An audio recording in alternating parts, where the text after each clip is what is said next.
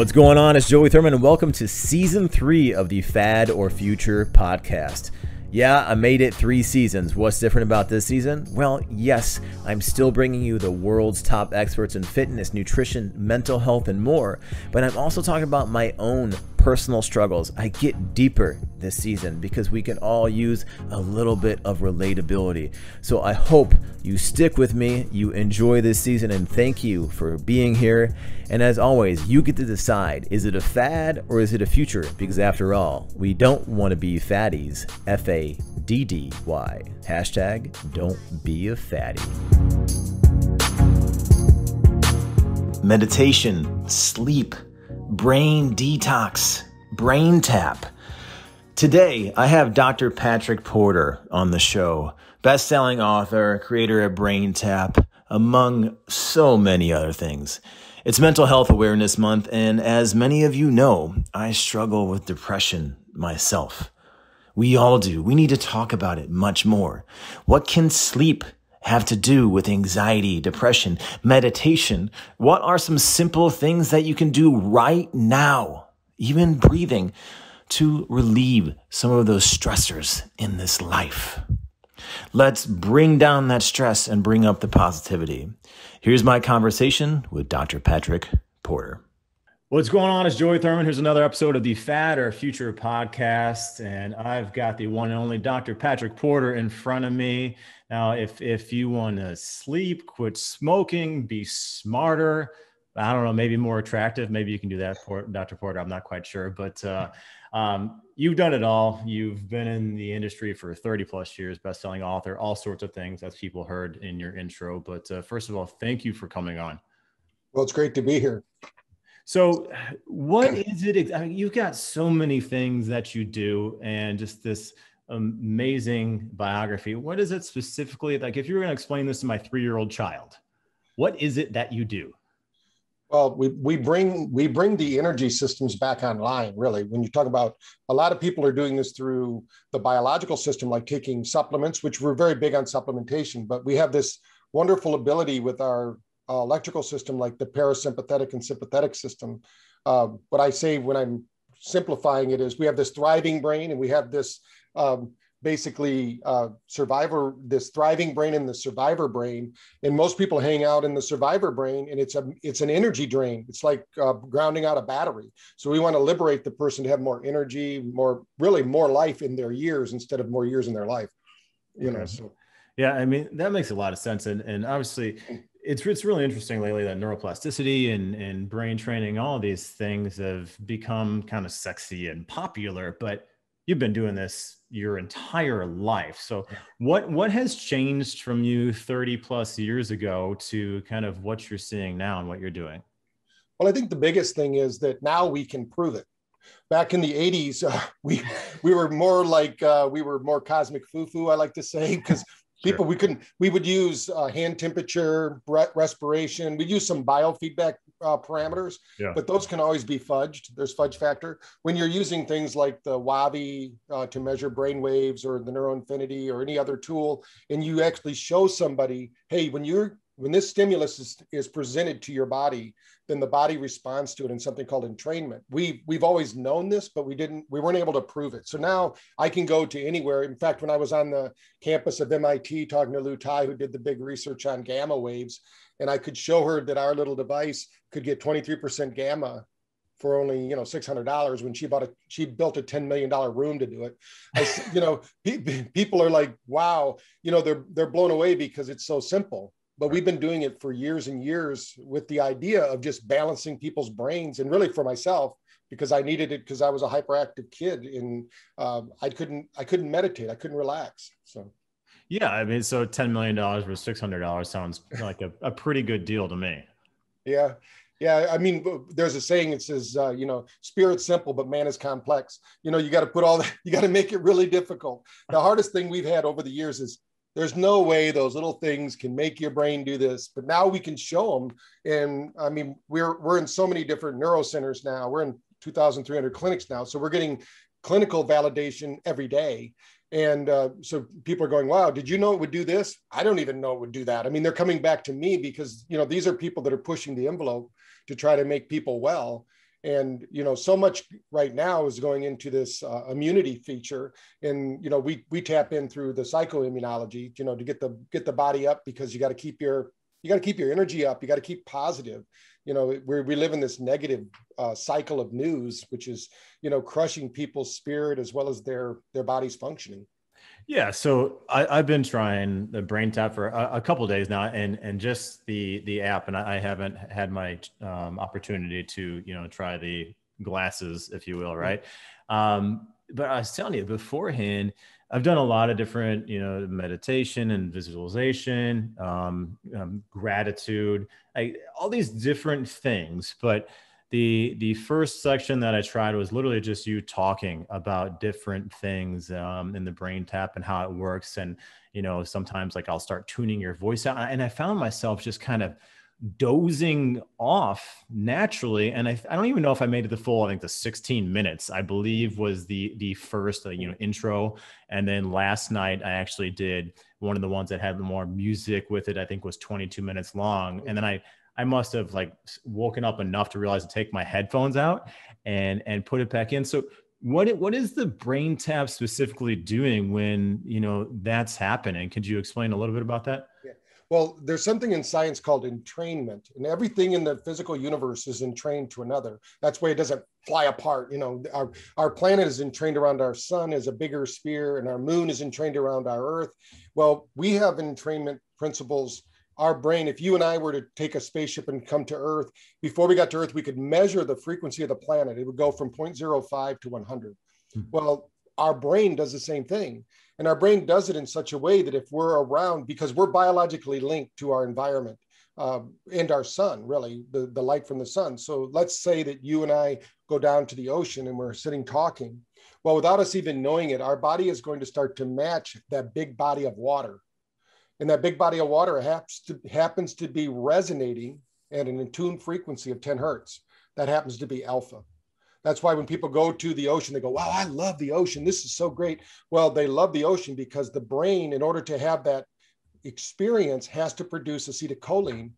That's what happens when you're in alpha. So you start to feel like you're in love. It's what happens when you are physically in love. So anything you do in that, your brain basically attaches that chemical response to the ocean. Now, if we go to the mountains, we would be at 7.8 hertz frequency, which is happens to be theta. Our body would start to produce GABA. So some people will get tired when they get to the tree line. They go, I, I just can't stay awake because they haven't trained their brain to stay there. But if you were a guru and you wanted to meditate, there's no better place to go than the mountains because you're right there sitting in the middle of a big giant isochronic tone generator.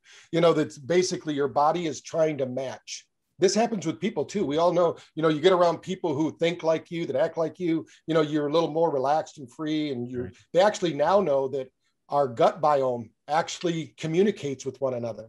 So if, if, people have like when the vegan meets the carnivore, you know, that's why they're having the big problems, right? so, so we have this, uh, so we're more than just this physical nature. In fact, we're we're not even but point zero zero zero zero what one percent solid, and all the rest is information and energy. So when we when we think about what BrainTap does, it's introducing a frequency of not only a frequency like Nogier frequencies, uh, solfeggio frequencies, but also different pulse frequencies to get the brain to change because we want to get the brain to to move out of its fight or flight. Everyone out there I w- I wouldn't say everyone, but 99% of the people, let's say, are in chronic low level stress. This was before any COVID. You know, this is just running around, people doing it, doing it, doing it all day long. And in order to disengage their nervous system, unfortunately, most people go get a beer or a few beers. Some people say, I just need to have a glass of wine. I go, well, do you stop at one? Oh, well, I opened the bottle. You know, so, you know, you, you have this way of thinking. Right. So, and it's really about disengaging. So once we disengage the brain, I tell people it's kind of like the old days of computers. if you had a Microsoft computer and something was going wrong, the first thing to do is what? Shut it off, right? You right. reboot it. And that fixes about everything. That's how our sleep cycle works. Hmm. So if we can really get into those deep sleep cycles, that innate intelligence of our body restructures everything, reorganizes, and we wake up in the morning with a superpower. If we don't sleep, it's almost like somebody slipped a little kryptonite in our pocket and we, we can't function during the day. And yeah. So what we're doing is we're basically conditioning the brain to move back to its primal positioning because before all this technology, you know, before all the technology that we have on the planet, actually the last hundred years, we used to sleep 12 hours a day. You might have had a stressful event four or five times a week. Now with cell phones and 24 uh, hour news cycles and all these things, we're getting bombarded. Now, check this out. Uh, if you have your phone in your bedroom, we've actually done tests where we we can we can actually record cortical responses in the brain the deep resources of the brain that you don't even know they're happening but we know when before you make a decision there's an electrical impulse well we put somebody's phone 20 feet away in another room we put them on uh, the eeg device we're measuring their brain every time they got a text message they didn't even know they were getting a text message consciously their brain was making a response Really? So, so was, was, this the phone going? Was there a noise of the phone or a vibration? so they couldn't hear it. It was a ding or wow. ping. So we did this because we were we kept getting this interference when we were trying to do a sleep program. Yeah. And the problem was the people kept having their phones near their bed. And even that's why we recommend like you got to turn it off or put it on airplane mode where you don't get any notifications because our brain we know and this has to do with our ears. So when you think of the way we hear things, most people think we hear we have like first attention. That's not really true. We have a filtering system. Our brain takes in 25,000 pieces of information every second. So let's say you and I are having dinner at your favorite restaurant. We're sitting around talking, blah, blah, blah, blah. And all of a sudden you hear somebody a few tables over go, is this a fad? Is it, or is this going to last? You know, and it, it, then your brain goes, what? Because we, we know what that is. So our reticular activator points that out. Other than that, all the rest of the noise in the room is just background, but we're still processing it. That's why some people don't like going to the malls at Christmas, you know, when it's just so crazy. Yeah. Because their body can't process all that information and filter out what they really need to learn. So what, what we've done is we've figured out what causes the brain to be entrained. Our brain loves patterns. So if we can give it the right pattern and change that up, when you're talking about neuroplasticity, mm-hmm. Um, maybe we can talk a little bit more about this if you'd like, but we have a, a study that we just did. It was a pilot study that's now going, Seminole College is now helping us put together 100 people to do this in Florida. The, the pilot study showed a 49% neuroplastic change in women 55, 65 in just six weeks. Now that's unheard of. These were, these were all women that were diagnosed by their doctor as having onset dementia. Mm-hmm. When we sent them back in six weeks, their doctor said, I wish you'd have showed up like this six weeks ago because I wouldn't have done it. We, we had them tested with the Cambridge Science Scoring, which is a, an online quiz you have to take. It tells you if you have dementia or not. Yeah. They all had it before. They didn't have it six weeks later. So we they had, were they were they were just on on the brain tap where they were they yes. using the uh, is they were using the visor too. The, vi- the visor. Using the lights. Okay. Because the, the lights the lights actually, uh, for those that don't know what light does, especially the we people go, why do you have lights in the eyes and the ears? Yeah. Well, when you if, if you've ever been to a lecture and you couldn't hear the lecture, but as soon as you turned your attention and now you could get line of sight with the lecture, you could hear them. That's because if you don't see them, about 30% of your brain shuts off. Mm. But as soon as you see them, it's part of our primitive reflexes. So also when you engage light in the brain with the eyes, you actually the whole brain has to activate to process that information even if it doesn't have any information to carry on that frequency but what we're going to carry is all the new stuff that they want to do so then the lights through the ears all the hemoglobin think of your body like a solar panel you're walking around all day long you're absorbing light light frequencies. If we don't get that there's a disorder called seasonal affective disorder right? Sad. Yeah. Now the, the the deal is though every cell of your body has something called chromophores in it which is like little mini batteries and it stores the energy from the sun or from light sources or from sound.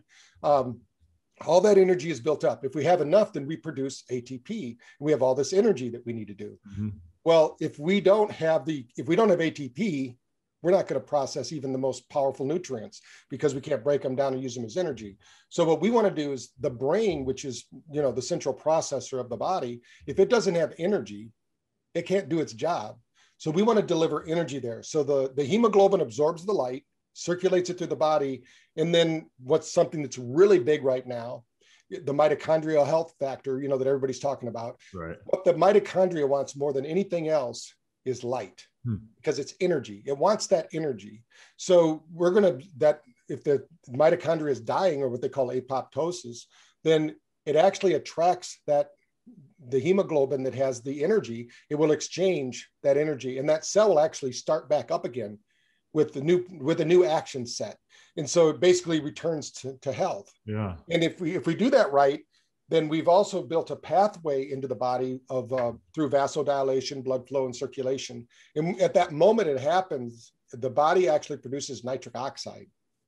And not to be confused with what you get at the dentist, but what this does, it creates vasodilation.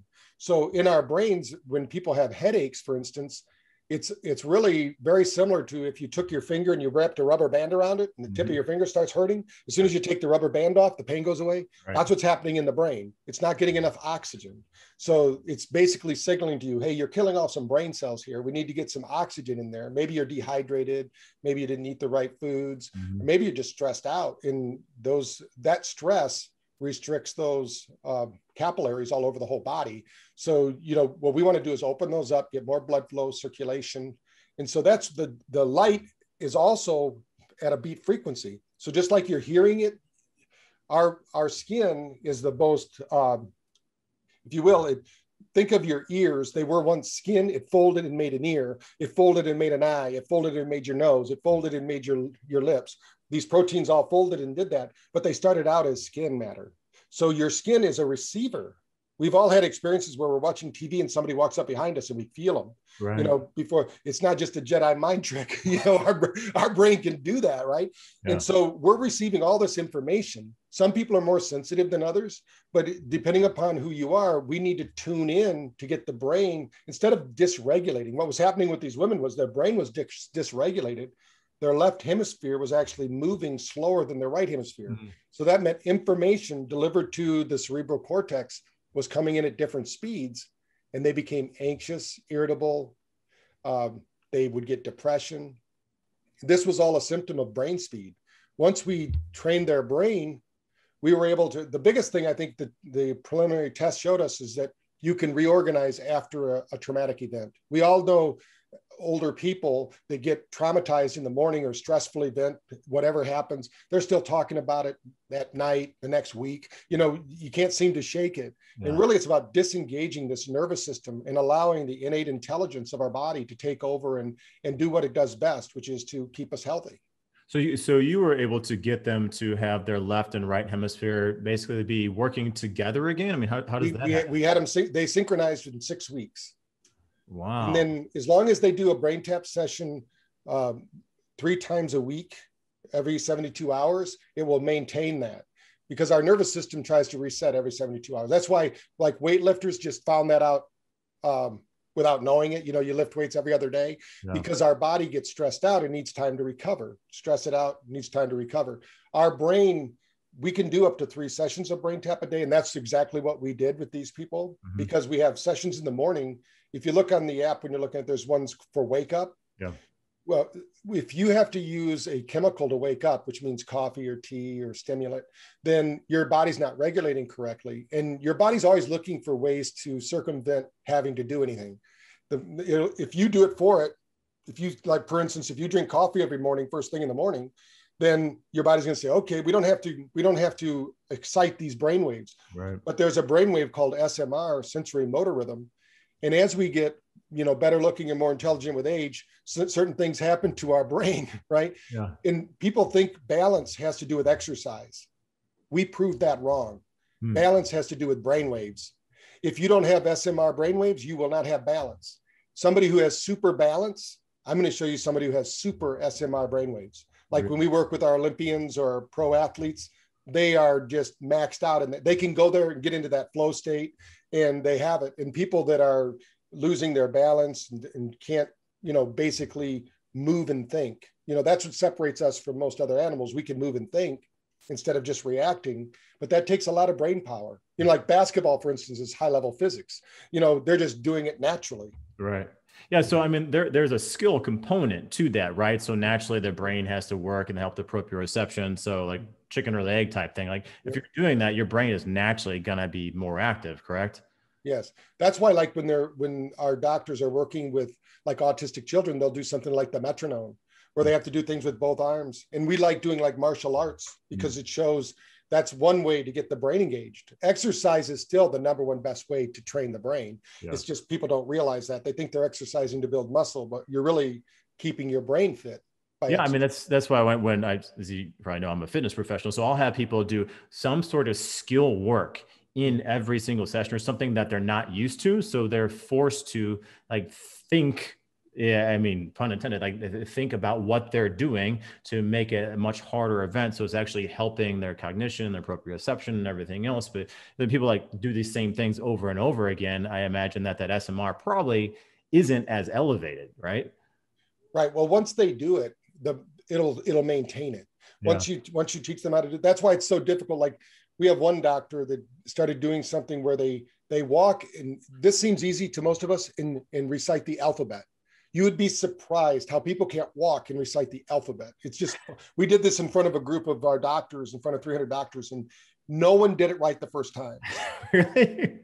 It, seems easy, but you know, when you step out, it's A, B, C, and then you have to do it backwards.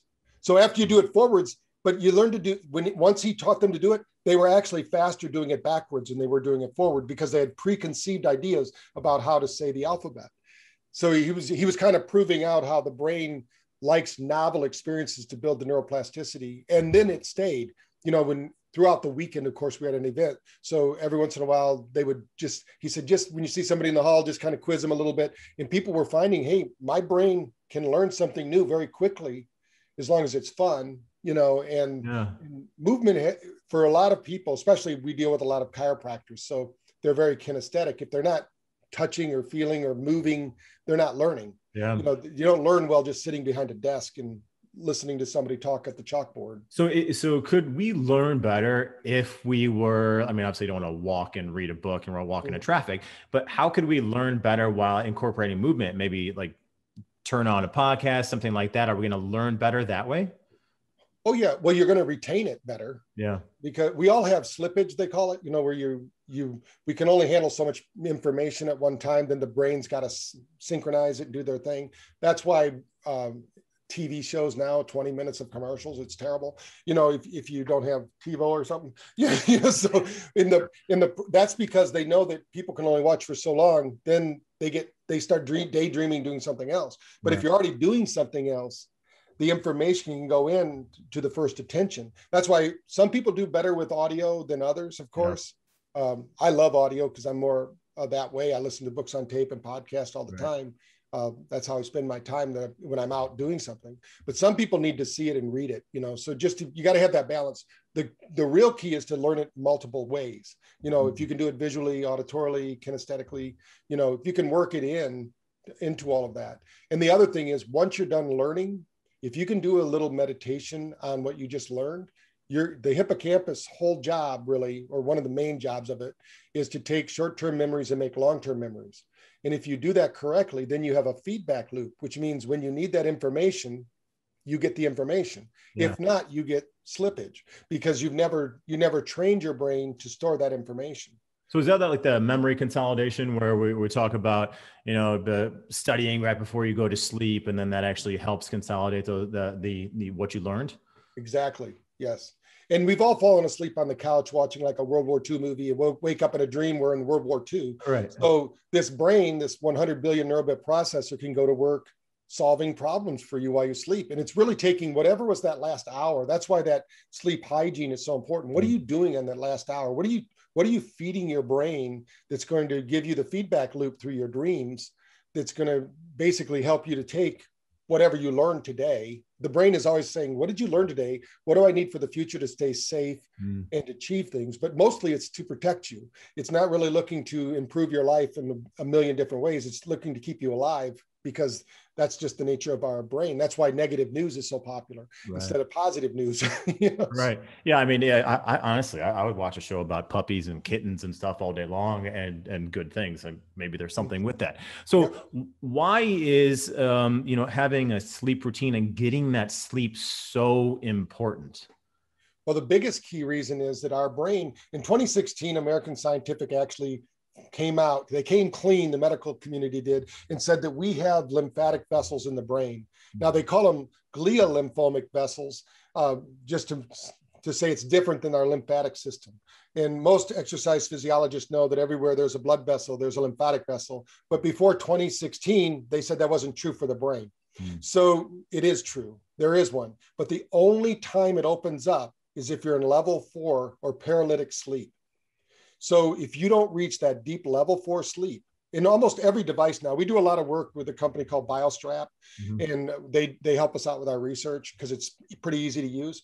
And then, or use the Oura Ring or something like that that measures sleep, whatever you have, or Apple Watch. All these, if you look at, if you get an hour of deep sleep and two hours of REM sleep, you're going to wake up like Superman. You're going to beat any, you're going to score in the 90s to 100% on any of these because they're not, they're just measuring these, these parameters. Yeah. And what happens is if you, if you don't reach that, then the brain doesn't detox. That's the main thing. So they call it the drainage system of the, of the brain. But just like we can't take in, uh, we have that blood brain barrier to get into the brain. We have this as stopping things from coming out of the brain. So it, it's really important during sleep that we sleep. Now you're not going to get an hour at one time. So the people listening go, how do I? No, you get a millisecond here, two minutes here, uh, three minutes here, and it's cyclic. So you're going through these cycles. And most people have woke up at some point in their life where they couldn't move during sleep. They, they real, and this is the paralytic sleep. Yeah. Basically, you woke up in the middle of a cleaning cycle you know the the the you were taken offline in other words yeah. so that your body could deal with the brain at that point and get the toxins out if you don't then you get the there's a big movement out there it's been for a number of years now called uh, leaky gut mm-hmm. right people talk about that we now know that if you have lesions in the gut you also have them in the brain. Mm. you have a leaky brain. So that's why it's so important. And they match they mirror right? The the gut actually the gut brain connection is is really really important. I mean if you don't if you don't detox the brain if you don't sleep well you'll get that irritable bowel syndrome that's the biggest reason people miss work in the world is they call it an upset stomach but it's really right. An irritable bowel uh, situation. No shit. Uh, had, had to say that that's right. so it's it i mean is it, is it more important then to take care of the brain so the brain can take care of the gut? Because you got all these people taking you know these probiotics and prebiotics which obviously ha- have a place and i'm sure that you recommend certain supplements which i would love to get into. But i mean is it more important to take care of the brain so it's detoxifying at night which will help help the gut or are they are they the biggest reason you need it most people know or they, at least they grew up saying prayers before they ate or something like that. Yeah. Um, that's good to do whatever spirituality you are but the reality is you're calming down your nervous system so you can actually digest and metabolize the food. Mm. so ancient science knew hey we need to calm down or we don't digest our food right. We get we have to take little purple pills and we you know we have to do all these things. And really the body just needs to relax to do that. So mm. the most important thing you can take the world's greatest supplements and i can guarantee you you'll just flush them out of the system because as long as you're in chronic low level stress your body thinks it's being chased by a saber-toothed tiger. Sure. so that means you're going to have to keep upping the dosage hoping that the body will assimilate and digest it. We did a study in uh, Provo, Utah, with a group that does IV uh, supplement, uh, you know, IV supplement yeah. for the brain. They do work with uh, helping people with addiction therapy. And when they had them doing brain tap at the same time they were doing their IV therapy, they absorbed up to 30% more of the nutrients. So if you want to, if you want your supplementation to work better, de-stress. Yeah, you I mean, I, have heard this heard this before that uh, you know the gratitude and obviously you know I, I, tell people all the time that if you're going we're, we're going from a stressful situation of a workout which is a good thing right? That's just mm-hmm. acute stress and not chronic stress and inflammation and cortisol which people like they get freaked out oh my cortisol's up. Well working out causes that to go up. So mm. but you need to eat, at least take a few minutes of do do some deep breathing or or uh, physiological sighs whatever it is right? And you can absorb those nutrients much much better as opposed to chugging a protein shake like once you put that weight down? I mean what's the best way way for people to kind of de-stress whether it's you know uh, right, right before a meal or you know before bedtime? Well i think before a meal is just calming down stop the whatever you're doing that might be a stressful activity and breathe a little bit. If you do pray then do that uh, yeah. uh, before a meal. Um, one of my favorite pictures I share is we're we actually put in a 20 station brain tap room for Sporting Kansas City, which is the professional soccer team. Uh-huh. What they do is after any of their workouts, they go in and they use those decompression boots. At the same time they're doing the decompression boots, they're doing a brain tap session. And we have a picture of like 20 of them doing it at one time. Okay. And that's what I show to people because they know that they recover faster. The whole thing is if you can start the recovery Sure. then the body starts to mend and, and gets better. Uh, plus, when you're when you do this, that mind muscle connection. I actually did a program, and it was I had a four page feature in Ironman magazine because I was showing them how we proved that the acetylcholine actually binds at the mind muscle connection. If you want to build more muscle without um, taking steroids, then do a session before your workout, do a session after your workout. We proved that you'll actually gain more muscle because there's your basically have the acetylcholine you need at the mind muscle junction while you're working out. And that's why visualizing while you're working out is so important. Yeah. So while you're visualizing the muscles growing, you're actually recruiting more of the uh, HGH and all of that that the body will produce because the, the brain is following your thoughts. If you're if you're doing the workout and going, no, I'm so much pain. Oh, this is so bad. Well, I mean, we all know people that go to the gym all the time. I'm always looking at them going, "You've been here for three months. I haven't seen you. You, you gained weight, you right, know, right. because they're too stressed out or they're they don't understand like high impact training and things like that. Yeah. Um, and so we we try to we try to talk to them about that. And I think I think that at night before going to bed, we always recommend go around your home turning off lights. If you think about it, if we were 100 years ago or 200 years ago and we were out hunting and gathering. We lived on the plains here or something and it was getting dark. We're going to go back to our tribe and we're going to have a fire. Right. and we're going to sit down we're going to talk about our day we're going to relax. And it's not just going to be the women doing that everybody's going to be doing that. And then when those logs go out we don't go to the woods and get more logs. We go hey it's time for bed you know we're, we're going to go to sleep. What do we do? We turn on another light we turn turn the channel to another station. We engage our brain in other activities. So think of uh, what we really recommend if you is that you wind down with the lights only watch like comedy something that's light light watching at night so you can get into the mood of sleeping. Yeah. you know some people 25% of the people need an actual routine or they will not sleep. Mm. right now as we're filming this two thirds of the American population has a chronic sleeping problem. Two thirds. Wow. Because they're they're staying up really late watching whatever shows they watch. Which is almost directly not to cut you off, which is almost directly correlated with the overweight and ob- obesity rates. Oh yeah, I mean the stress of one event, one stressful event, a Freddy Krueger movie has probably 50 of them in there, right? But if you one stressful event, your liver produces enough sugar to be a Milky Way bar you didn't have to eat a Milky Way bar to produce enough sugar that now your insulin, you know, your insulin has to be released. And insulin's a fat storage hormone. So what happens? You build fat.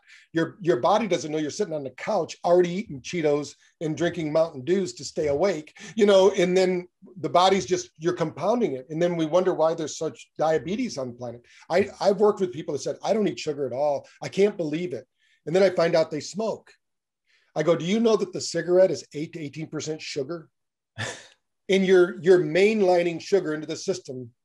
If you what do you do if you want to really get high with heroin? You smoke it.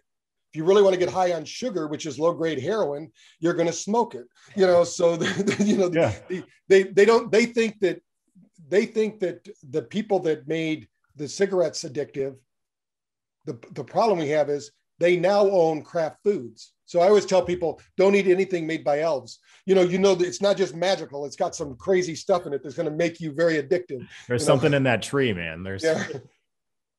I mean, occasionally maybe that's okay, like parties yeah. and picnics and things. But I mean, some people make this their life mission to destroy their health one meal at a time, and they don't even realize it. Yeah, it, it is interesting how, how we are a product of everything that we do, you know, whether, whether it's sitting for an extended period of time. And you probably know this. There was a study that came out where uh, four hours of sitting, you actually have um, less blood flow to your brain. So literally, they said every two hours, get up and just walk around for two minutes. Like something that simplistic, we still like have a hard time grasping that we want to do. I mean, it, what what is that about human nature? We just like things that just like seem so easy. We we can't do. Well, I think it's we're we're creatures of habit. That's not yeah. just an expression. Our our brains, our bodies in you know the, it really even goes down to Hebb's law, which states those neurons that fire together wire together. You know, in, if they don't fire together, they wire apart. I mean, that's kind of the way all of our behaviors, all learned processes go. So we're we get used to uh, in psychology 101 some of your listeners might remember the two frog story you know where you have the one frog that they put in the pot they bring it to a boil slowly it dies because it doesn't realize every day uh, the incremental changes of the heat are just not so bad. So it's doing the backstroke one minute, it's dead the next, right? right. The um, the other one, they bring the pot to a boil, and you, they threw the frog into it. Of course, it jumped right out. So if people knew the stress their body was under, they would get out of it. But the problem is they're in it. They and I love there's a there was a video going around about fish, and the fish were all asking, "Where's the water?"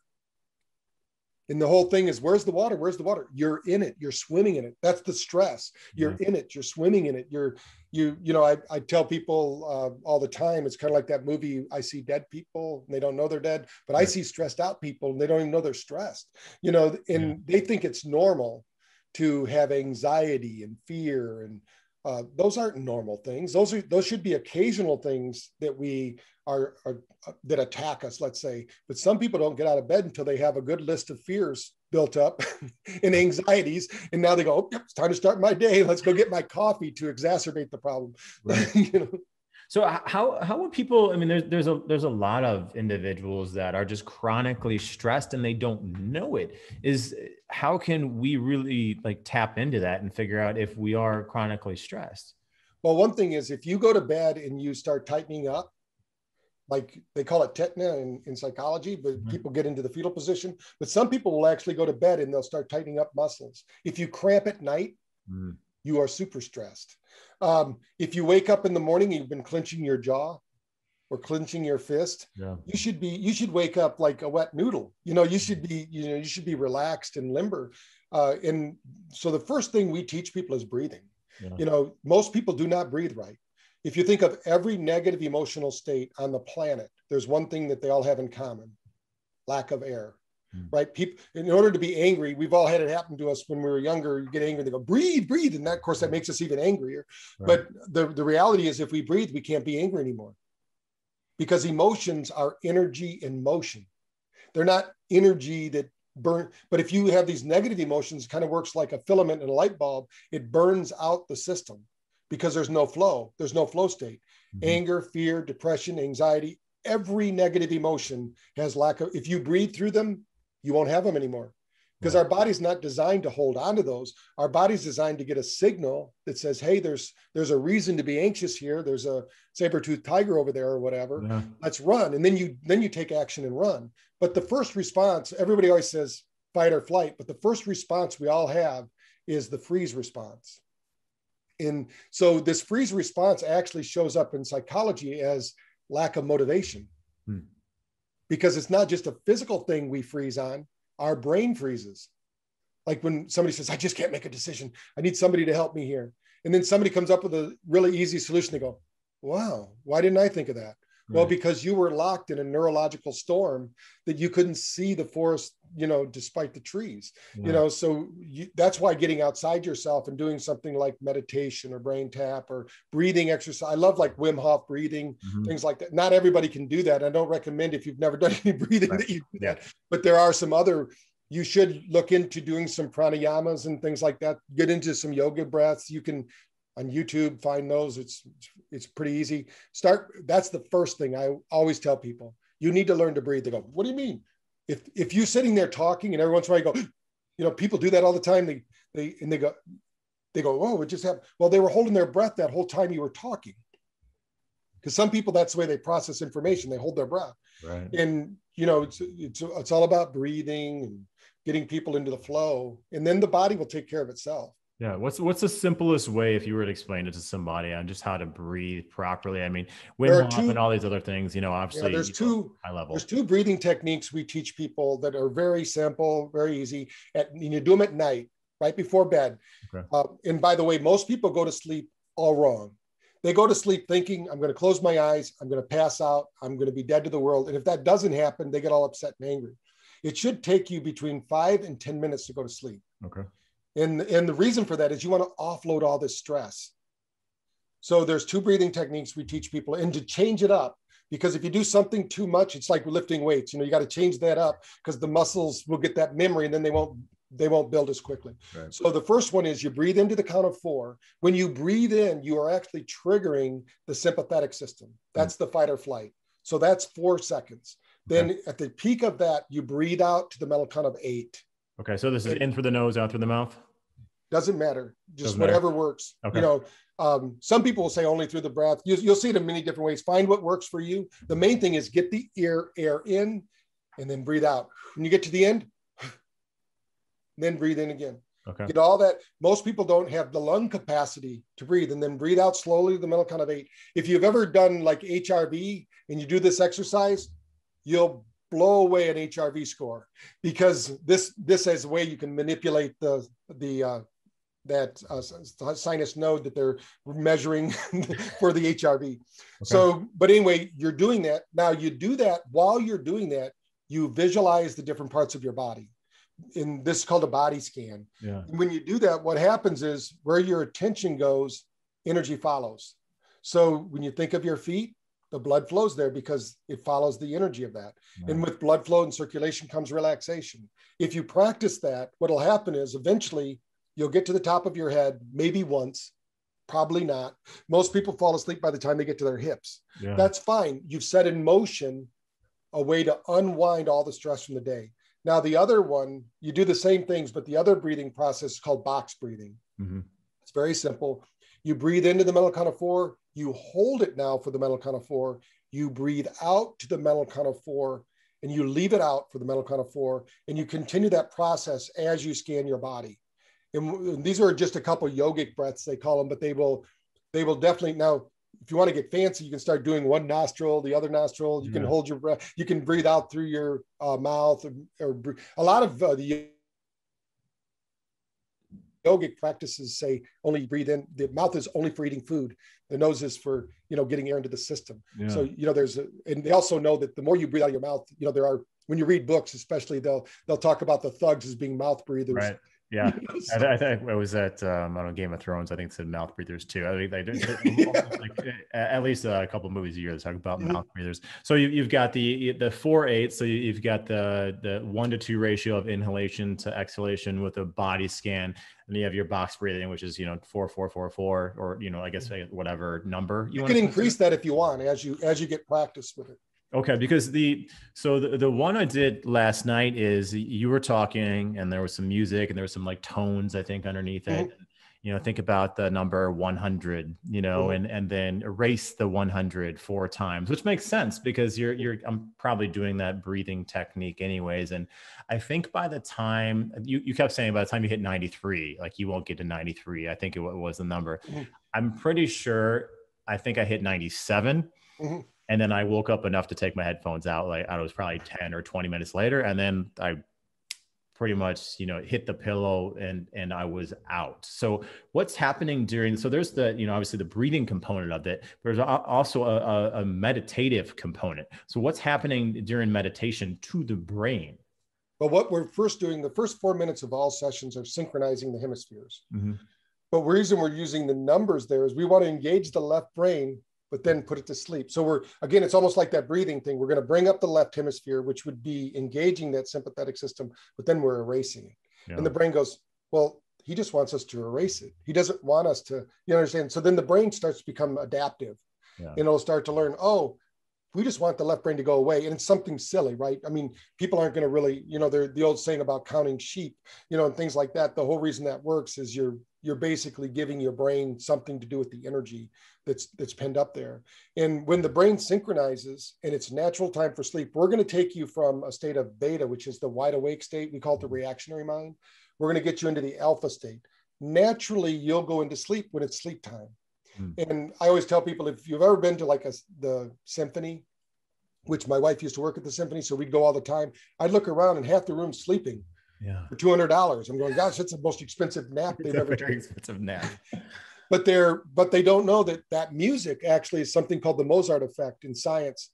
That that 10 hertz frequency music the brain goes there and it says, "Oh, we're in alpha. We must be, want to go to theta." We, then they go to delta and they go to sleep because they're not trained to stay in that brainwave state. Mm-hmm. It's kind of like uh, I used to run the quarter mile in track uh, in in college, and I would my splits right every quarter were the same. Like whatever whatever I ran, it wasn't like even though it looked like I ran faster out of the blocks than I did coming in, but when you measured it, it was all the same. But you had to stay in a flow state. You couldn't push too much or you'd burn out your energy. You right. couldn't slow down too much or you'd lose that momentum. So there, and and that's what happens when. And if you look at the Olympic athletes, they're all relaxed. You know, that's one thing our coach would would film us. This is we didn't have the nice stuff like we have now, right. but he would film us. And if our jaw wasn't, you know, if we're running like this, you know, people do that all. The, you're going to be a lot slower when you do that. Yeah. So part of it is just getting the body to offload that stress. When the hemispheres are synchronized, the body will naturally do that. You'll naturally go into this altered state that you go to anyway when you're really tired and you're able to sleep.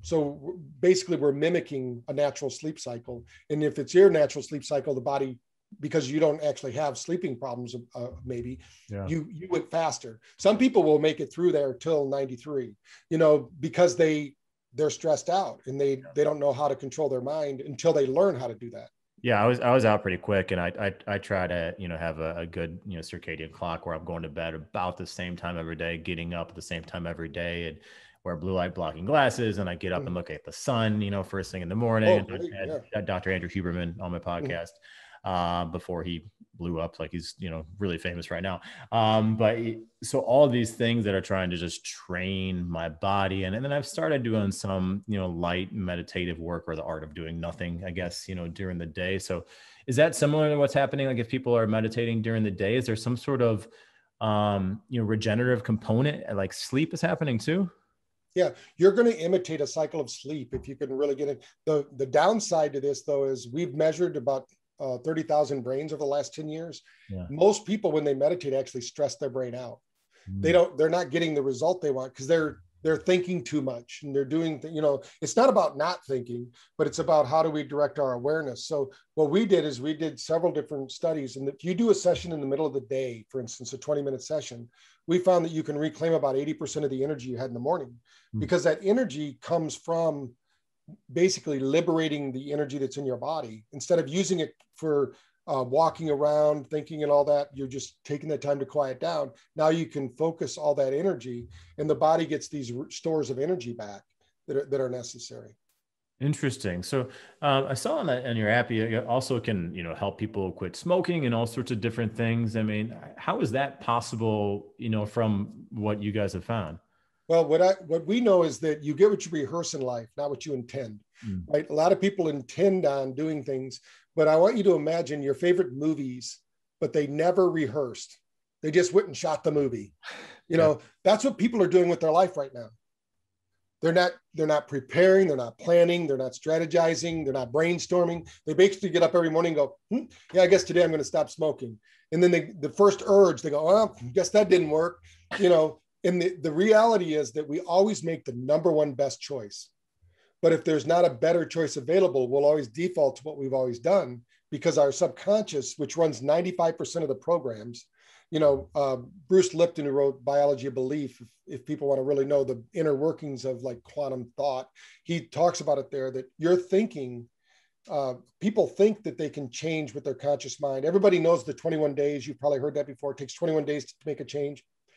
That's never been proven hmm. ever. In fact, the study showed that Stanford did and also Harvard verified, or the other way around, one of the two. Yeah. And what they showed was, yeah, you can get a change in 21 days, but guess what? You've got to do visualization and relaxation techniques with it.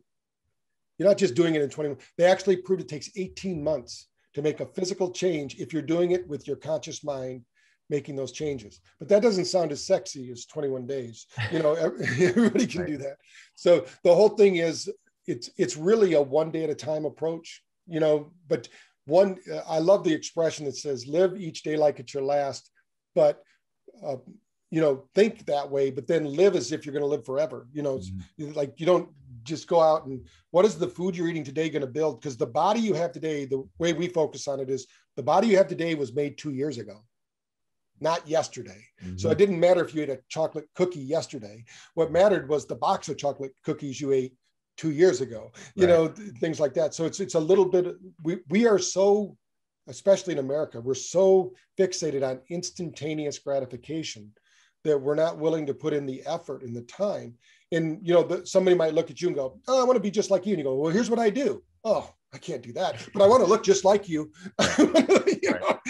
I, I have a one of my one of my slides I show in one of the presentations has I don't know if you used to drink uh, Quik uh, the Nestle's Quik yeah. you know the chocolate milk. Oh man I used to love that stuff. Yeah. yeah so so we made one of those and I had an artist make a little guru guy meditating a little rabbit and it says cosmic cosmic quick consciousness two scoops to instant buddha because that's what people want. They don't want to they don't want to go to the mountains for 30 years. They don't want to give up all these things. They they want to do everything they're currently doing but then get all the benefits of somebody who sacrificed and took care of themselves.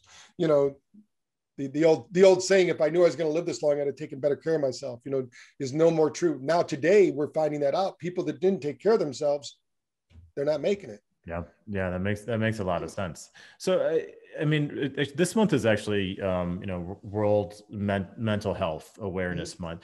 What is your advice for people who suffer with, you know, mental illness? I suffer with from depression and anxiety what can people do? And obviously this we we don't want the quick fix because there is no quick fix in life as, as you just mentioned. But what can people do to start alleviating anxiety and depression and all all of these like negative factors that are surrounding us? The the two things that we find are the the best. They might not be the quickest but one of course is exercise. Mm-hmm. when you exercise you're actually triggering your pharmacy. The, the biggest pharmacy on earth is not on the corner. It's between your ears. You know, we can release 30,000 different neurochemicals with our own thinking and acting. Mm-hmm. So get out there, get moving. The worst thing you can do when you're mentally uh, struggling is to set. Um, because you're just going to sit in your juices, right? You're stewing. Um, then, but if you are going to sit, you should be doing some form of meditation, some some form of positive visualization, what might be termed now positive psychology, yeah. and that means like being grateful if you don't have anything to be grateful for, then you really need to do a grateful meditation because you should be grateful. You, have got to get the habit of just being grateful, having peace with your environment, changing the things you can, visualizing your future. You know, the um, not that everything's going to happen, but uh, when I took training a number of years ago in the 80s, actually from Deepak Chopra, I remember one of the things he said that blew me away, and I've been using it ever since.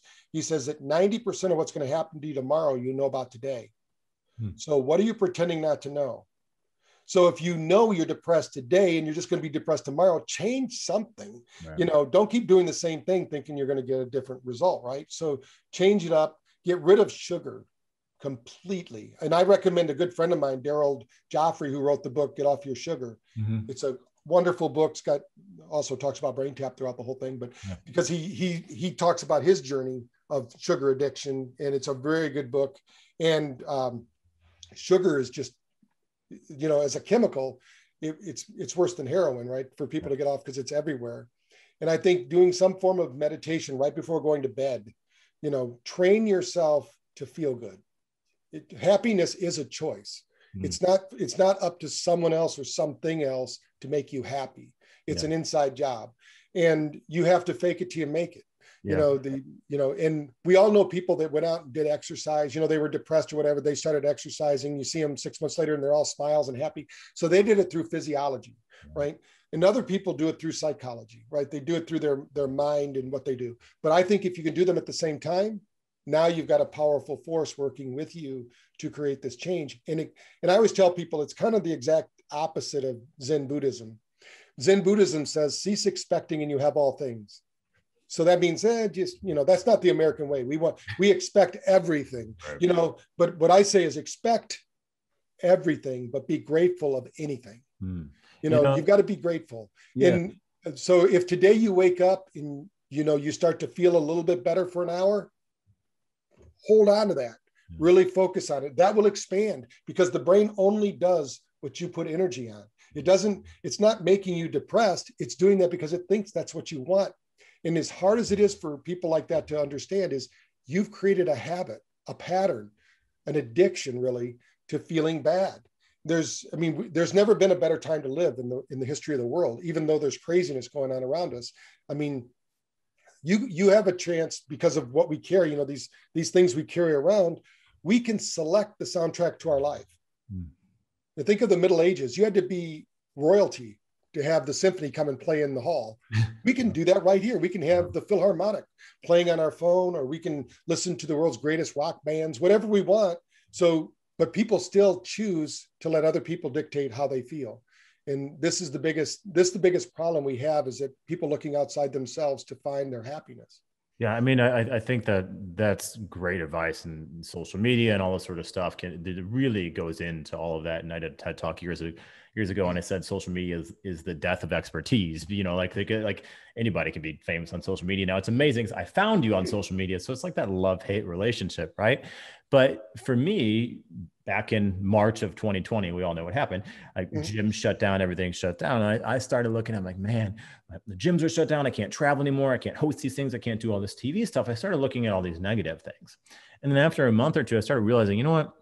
I get to be home with my son, who was two at the time, and he gets to run down the hall and say "Baba's home," which is dad in Greek, and and like hug me, and I get to experience all of these amazing things with him growing up that I wouldn't have got to experience would I be at the gym from 5 a.m. until 7 p.m. and just see him at night or for an hour or two, and then maybe on the mm-hmm. weekends. So I started looking at things that way. I'm like, wow, what is the little silver lining in this? What is what what can I be grateful for? So then that really helped with you know my depression, and then now what I started doing think people listening is I'll do those workouts and then I'll go into, you know, some sort of, you know, parasympathetic breathing and focus on gratitude, even if that's a couple minutes, what I'm grateful for. And that has changed my life. And, and, and you're very, you're very spot on with like, we, we have all these things now that we can be grateful for. And I, I appreciate you um, saying that, about, I think that's going to come across to a lot of people. One thing to to avoid the depression that happens with social media, because I, I love the card. I got it for one of my friends once. It said, "I hope your life is is as happy as your Facebook post."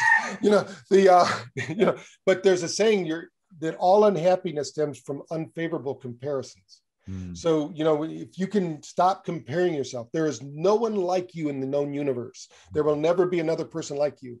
So, as soon as you step up and start really acknowledging your own brilliance. And and i think everyone has something to add value to this world about. It's just they're unhappy when they're not doing it. So figure out how you can be of service and and seek outside yourself instead of trying to make sure everybody's making you happy. Yeah. you know that's a that's a big deal. Dr. Porter i mean I, I think that's a perfect place to stop. I mean acknowledge your own brilliance. That's great. I'm I'm going to use that. I appreciate you for coming on. Where can people find out more about you and uh, your company? Well, they can go to on social media uh, at BrainTap Tech or at Dr. Patrick Porter. They can they can go to my website uh, drpatrickporter.com. Uh, they can see the links there. They can also go to braintap.pro and for 99 cents they can get a copy of uh, my newest book, Thrive In Overdrive, and they get free time on the app there. So they could go there and check it out. Uh, 99 cents. I, I, think people can have 99 cents. We, we can find that in the cushions of our couch, man. uh, well, I, I, thank you so much for being on. I'm Joey Thurman. Here's another episode of the Fad or Future podcast. Remember, don't be a fatty, F A D D Y. Be a part of the future. Cheers.